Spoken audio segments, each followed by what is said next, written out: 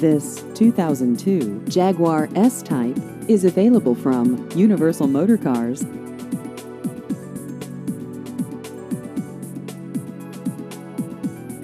This vehicle has just over 100,000 miles.